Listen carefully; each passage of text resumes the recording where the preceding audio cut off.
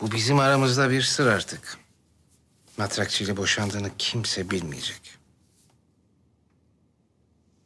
İyi de paşam. Nasıl efendi? Sen onu merak etme. O da bu sırrın ortağı.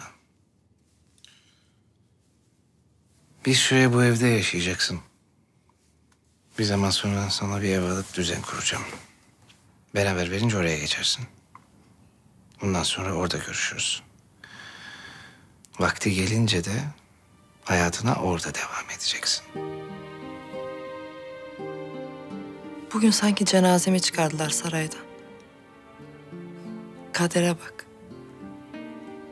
Şu an o kadar mutluyum ki.